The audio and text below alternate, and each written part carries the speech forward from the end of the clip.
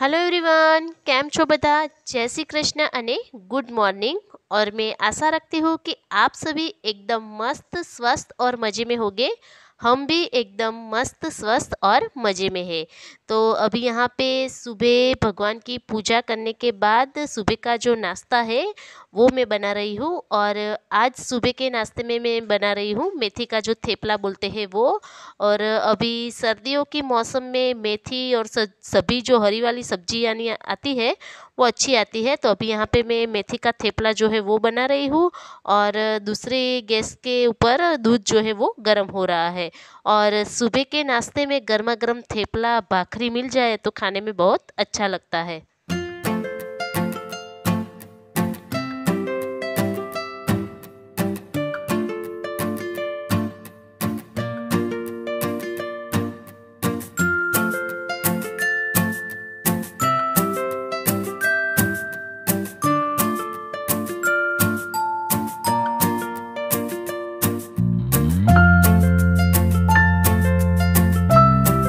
और उसके बाद यहाँ पे सभी थेपला जो है ना, वो मैंने रेडी कर दिया और सुबह के नाश्ते के लिए चाय जो है वो रख दी है। तो अभी यहाँ पे चाय जो है वो हो रही है और गर्मा गर्म थेपला और चाय जो है ना, आज सुबह के नाश्ते में हम लोग खाएँगे।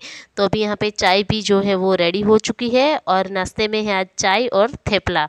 और सुबह का नाश्ता फिनिश करने के बाद मेरे हस्बैंड जो है वो ऑफ़िस चले गए और उसके बाद अभी ये फ्रिज के ऊपर का जो कवर है ना वो बहुत गंदा हो रहा हो हो चुका है। तो कितने दिन से सोच रही हूँ कि इसको धोना है ए, क्लीन करना है। तो आज तो सोचा कि पहले ये कवर को अच्छे से ऐसे उसके ऊपर जो सामान है वो निकाल लेती हूँ और उसको धोने के लिए डाल देती हूँ। तो अभी यहाँ पे फ्रिज का कवर जो है ना, उसके ऊपर का जो सामान है ना, वो मैंने निकाल दिया और उसको धोने के लिए मुझे डालना है। तो यहाँ पे देखो, नीचे की साइड तो ऐसे फ्रिज का ऊपर का जो है ना, कवर रखा हुआ है तो ऐसे फ्रिज क्लीन ही है। तो अभी उसको सूखे कपड़े से मैं पोछ लेती हूँ। और उसके बाद यहाँ पे कवर के साइड के खाने में जो सब कुछ चीज़ें थी, वो एक थैली में भर के मैंने इकट्ठा कर ली। और ये कवर जो है ना मैंने घर पे ही बनाया है और ये बहुत ही अच्छा है। और पीछे की साइड जो बोरी आती है ना वो मैंने डाली है ताकि ये जो है ना एकदम अच्छे से ऐसे बना हुआ है। तो अभी इसको धोने के लिए मैं डाल देती हूँ। और उसके बाद यहाँ पे सुबह के नाश्ते के जो बर्तन है ना, वो तो मैंने क्लीन कर लिए हैं। और कल मैंने जो चावल और उड़द की दाल भिगोने के लिए रखी थी, वो अच्छे से भीग चुकी है। और यहाँ पे ये ये जो मिक्सी जार के अंदर रिंग आती है ना, वो टूट गई है। तो उसमें मैंने एक जुगाड़ लगाया, उसके ऊपर ऐसे ब्लैक वाली जो सेलो टेप आती है ना, वो लगा दी है, ताकि मिक्सी जार में अंदर की जो रिंग है ना, वो लग जाएँगी। और अभी टाइम नहीं मिल रहा, लेकिन ये जो रिंग है ना, वो भी मुझे नहीं लानी है। तो अभी तो ये जुगाड़ करके ये जो मुझे पीसना है वो मैंने पीस लिया है। तो अभी यहाँ पे चावल और उड़द की दाल जो है ना वो मैंने पीस ली है और इसको मैं एक बर्तन में निकाल के उसको ऐसे रख देती हूँ आठ से दस घंटे के लिए साइड पे ताकि इसमें से जो इडली या इदड़ा जो बनाऊँगी वो अच्छे से बन जाएँगे। तो अभी यहाँ पे बर्तन तो धो धो लिए हैं मैंने सुबह के लेकिन अभी जो मैंने चावल और उड़द की दाल पीसी है उसके बर्तन हुए हैं तो उसको क्लीन कर लूँगी।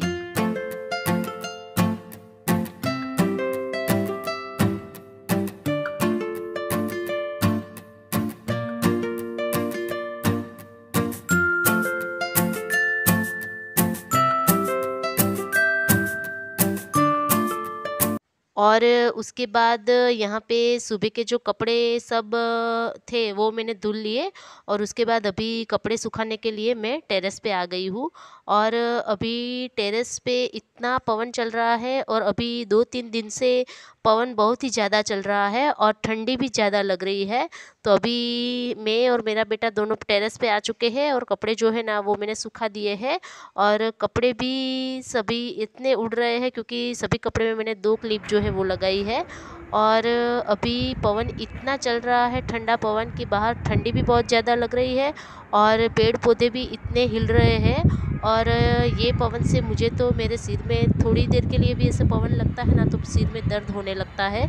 तो अभी यहाँ पे देखो इतना पवन चल रहा है बाहर और अभी ठंडी भी बहुत ही ज़्यादा बढ़ चुकी है। बाद अभी यहाँ पे मुझे आज बनाना है वेज फ्राइड राइस तो उसके लिए यहाँ पे मैं किचन में प्रिपरेशन करने के लिए आ गई हूँ। और फ्राइड राइस अभी सर्दियों के मौसम में खाने में बहुत अच्छे लगते हैं और टेस्टी लगते हैं। तो उसके लिए यहाँ पे मैंने चावल जो है ना वो भिगो के, भिगोने के लिए रख दिया है और यहाँ पे पानी बॉईल होने के लिए रख दिया है। तो इसमें अभी ये चावल जो है ना, इसको बॉईल होने के लिए डाल दूँगी। और यहाँ पे ये जो पानी मैंने उबलने के लिए रखा है, ये पानी भी अच्छे से ऐसे गर्म हो गया है। तो अभी जो चावल मैंने भिगोने के लिए रखे थे, उसमें से एक्स्ट्रा पानी निकाल दिया है। और ये पानी में मैंने थोड़ा सा नमक और थोड़ा सा घी जो है, वो डाला है। और इसमें अभी चावल जो है, मैंने डाल दिए हैं। और अब इसको आठ से दस मिनट के लिए बॉयल होने के लिए चावल को रख दूँगी। तब तक के लिए मैं यहाँ पे फ्राइड राइस में जो सब्ज़ी मुझे कट करके डालनी है, वो सब्ज़ी यहाँ पे मैं कट कर लेती हूँ। तो यहाँ पे मैंने थोड़ी सी ऐसे एक प्याज जो है वो कट कर ली है, पत्ता गोभी जो है वो ऐसे लंबी लंबी कट कर लेती हूँ और गाजर डालना है तो गाजर भी ऐसे लंबे लंबे सेप में मैं कट कर लेती हूँ। और फूल गोभी जो है ना थोड़ी पड़ी हुई है तो मैंने सोचा इसमें डाल ही देती हूँ। फ्राइड राइस में फूल गोभी नहीं डालते, लेकिन मैंने सोचा पड़ी है तो इसमें डाल देती हूँ और टेस्ट में भी अच्छी लगेगी। तो अभी यहाँ पे सभी सब्ज़ियाँ जो है वो मैं कट कर लेती हूँ।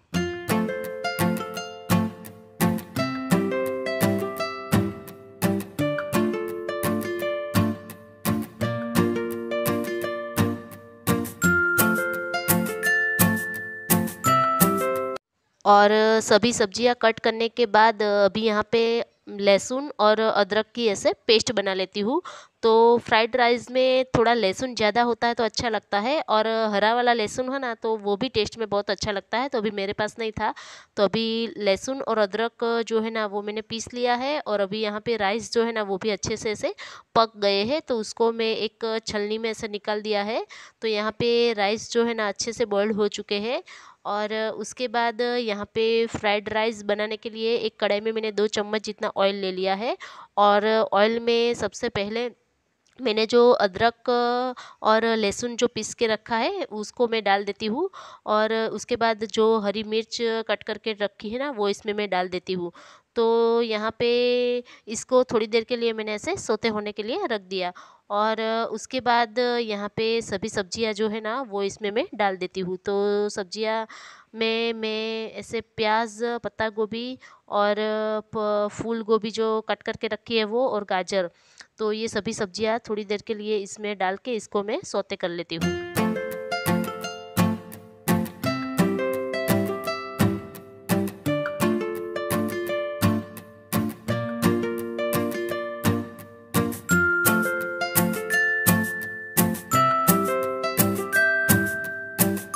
और सभी सब्ज़ी ऐसे थोड़ी सी पक गई। उसके बाद यहाँ पे मैंने ऐसे एक से डेढ़ चम्मच जितना नमक जो है वो डाल दिया। और नमक डालने के बाद अभी इसमें मैं डाल देती हूँ एक चम्मच जितना सोया सॉस, एक चम्मच जितना जो टोमेटो केचप आता है वो और एक चम्मच जितना रेड चिली सॉस। तो यहाँ पे सभी सॉस को ऐसे सब्ज़ी के साथ मिक्स कर देती हूँ और उसके बाद ये चावल जो मैंने बॉयल करके रखे वो इसमें मैं डाल देती हूँ। और चावल में मैंने थोड़ा सा नमक डाला था लेकिन मुझे कम लग रहा है तो अभी थोड़ा सा नमक ऊपर से डाल देती हूँ और इसके बाद यहाँ पे थोड़ा सा ब्लैक पेपर पाउडर जो है वो मैं ऊपर से डाल डाल रही हूँ। और यहाँ पे अभी हल्के हाथों से चावल को अच्छे से मैं मिक्स कर देती हूँ और उसके बाद थोड़ा सा हरा धनिया जो है वो मैंने डाल दिया है। तो यहाँ पे टेस्टी वाले गर्मा गर्म वेज फ्राइड राइस जो है ना वो रेडी हो चुके हैं। और ये राइस ऐसे देखे ना तो गर्मा गर्म खाने में बहुत ही टेस्टी लगते हैं। तो अभी यहाँ पे मेरे हस्बैंड जो है वो खाना खाने के लिए आएँगे तो मैंने मेरे बेटे को बोला कि गर्मा गर्म है तो तू पहले खाने के लिए बैठ जा। और यहाँ पे मैं कर रही हूँ आज के ब्लॉग का एंड आज का व्लॉग अगर आपको थोड़ा सा भी पसंद आया हो तो प्लीज़ मेरे चैनल को लाइक कीजिए शेयर कीजिए एंड अभी तक सब्सक्राइब नहीं किया है तो सब्सक्राइब कर दीजिएगा। तो तब तक के लिए आप सभी को bye bye take care all of you और थैंक्स फॉर वॉचिंग